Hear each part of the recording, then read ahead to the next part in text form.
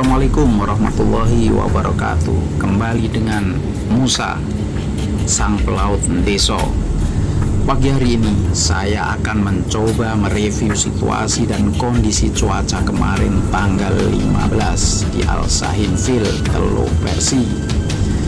Jam 12.55 telah menerima weather alert moderate risk of squall strong winds 6 jam ke depan.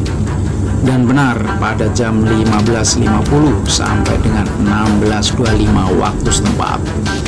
Dengan durasi 35 menit perjalanan kami dari Efeso Asia ke Efeso Afrika sempat mengalami hantaman ombak sampai dengan 2 sampai 3 menit disertai dengan kilat dan hujan. Dengan kecepatan angin mencapai 57 knot per jam. Dan juga ditandai dengan indikator barometer yang begitu turun secara drastis. Jadi beginilah situasinya.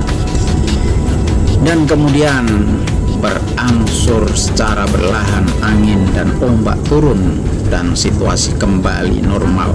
Sehingga kita simpulkan beginilah dukanya seorang pelaut dan mesti diterima ikhlas sabar dan tetap berdoa kepada